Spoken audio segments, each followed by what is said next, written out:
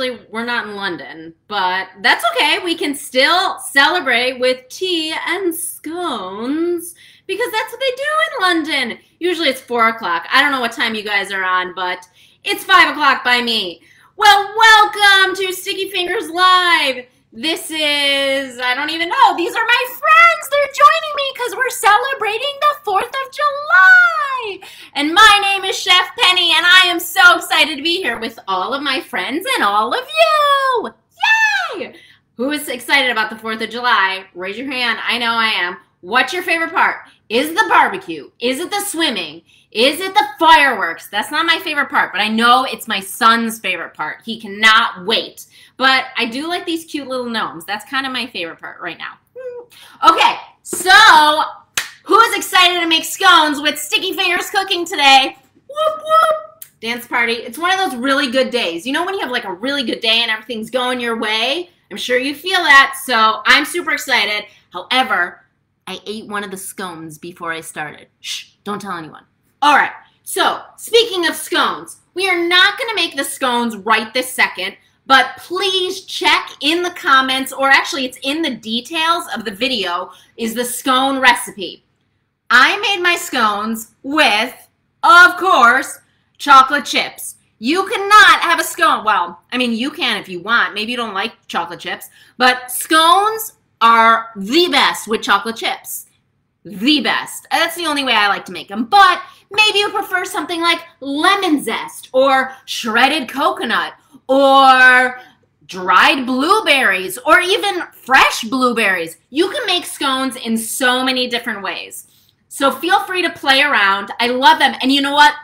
Let's say you've got four kids in your family. I don't know, I'm just making that up. I have one. But let's say you have four kids in your family and they all like different things in their scones. You can separate the dough and give the dough to each kid and they can put in what they want. Scones are so versatile. I love them for that reason. So we've got our scones.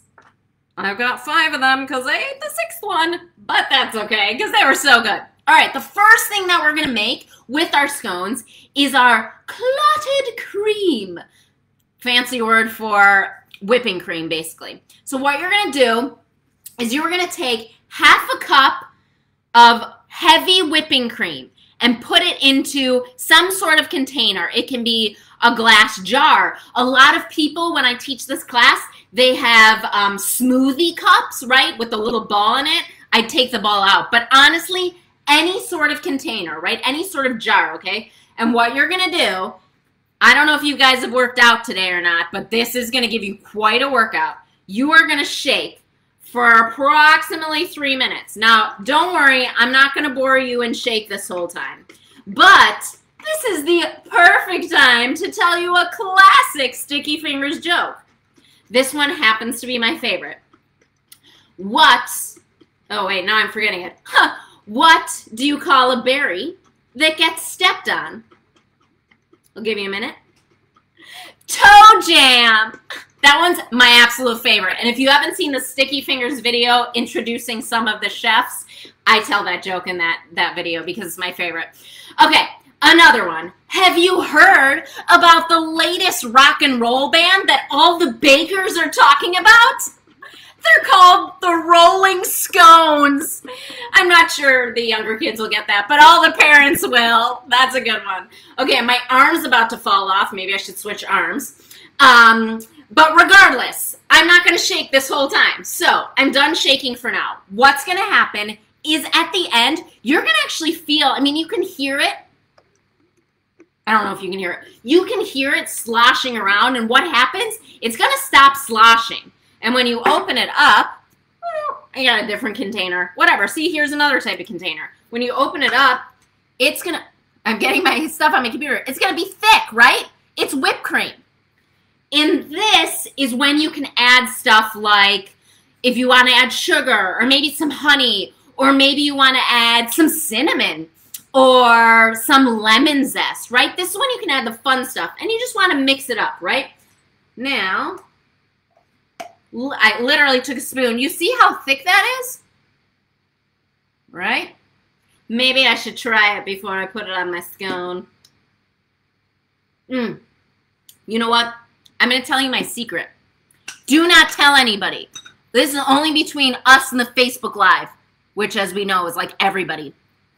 Adding a little bit of vanilla to your whipped cream makes the biggest difference. The biggest difference.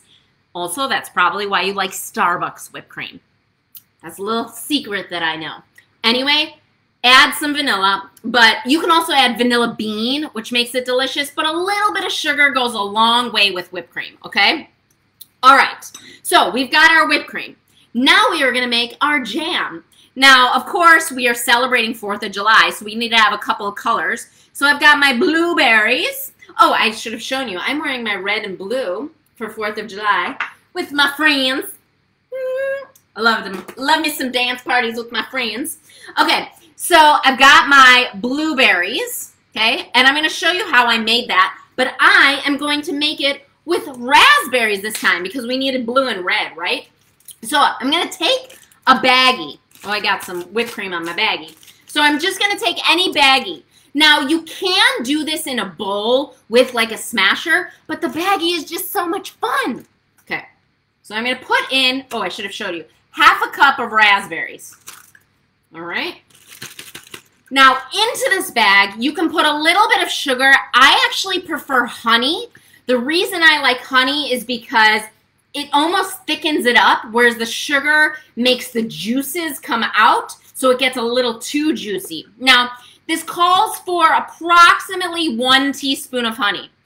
I don't know about you. If you've ever tried to measure honey, it is not very fun because then you just wind up scooping your finger and then you're just, all the honey is on your finger, which I guess could be fun because it's really tasty. But one teaspoon, eyeball it. Just like eyeball it, right? So here we go. So I'm literally just going to go, oh, okay, perfect. That's it. That's literally it. All right. And then I'm going to make sure the air is out of my bag. Okay. And then we got some toe jam going on, right? And I'm literally, oh, this is so therapeutic. Sorry, zoning out. but seriously, look at that. Beautiful jam. And that was like, what, two seconds? Two seconds. Okay, so now we are going to eat our scones. So I'm going to put a scone on a plate. Let's see. Well, Actually, you know what I'm going to do? I'm going to plate it down here. So I'm going to show you what's going on. See everything going on right here, right? All right, so first, well, first I'm going to put my cream on because I had some cream on my spoon. And I could show you a fancy way of putting on cream, but I don't have another spoon with me. So I'm literally just going to put a little bit of cream on top. Oh my god, that looks so good and I want more cream. Okay. And then I'm actually gonna lick the spoon because I want I don't have another spoon, so this way I could just like lick it and then um, use my spoon for the jams. No waste, right? All right, and then actually this jam, um, because I kept it in the fridge, it kind of set up, so it did a really nice job of of um, of coagulating basically. So you can either put the jam on the side or let's take some of this beautiful red jam, right? Oh boy, nailed it! I think that looks like red, white, and blue. What do you think? What do you think? Do you love it? Okay, would you prefer, those of you watching, type in the chat, would you prefer the red, the white, or the blue? Which camp are you in? Okay, but wait, the best part of this, the best part, because I can't let you all off the hook without me eating some of this. Yes, I know I ate a scone. You don't have to remind me, okay? All right, so, oh, I made the bite really big. Hmm, but, so I'm going to take my scone. This bite might be too big because then I won't be able to talk afterwards, right? I just took a small bite. Okay. Um, mm, mm, mm, eating really quickly. That was not smart on my part. I'm an actress. I should know not to eat when I'm on stage because then I, I can't talk. Anyway, so that is our delicious recipe today. And you can bet that I'm going to be finishing another one before dinner time. Just don't tell my family. Okay, so before we end today, If you are not familiar with Sticky Fingers Cooking, I encourage you to go to our website, stickyfingerscooking.com, and we've got something awesome going on right now, which is our summer camps. There are so many different themes STEM, baking, um, again, oh, I don't know where my cheat sheet is. That's okay. Um, are so many different themes, and you might have a pretty cool teacher, if I do say so myself. But there's so many going on. It's really fun. It's hands-on. It's all virtual. It doesn't matter where you are. Oh, and it's in the comments, which you can go check out right now. I love doing this. I hope that you've enjoyed your time. Most importantly, I hope that you have a wonderful, blessed, happy, healthy, and fun 4th of July. Be safe, be smart. Thank you for joining us today. And I look forward to seeing you all next time on my next Facebook Live, whenever that may be. Otherwise, in the meantime, check out stickyfingerscooking.com and join me for a class. I'd love to have you. All right. Have a great holiday weekend. Bye.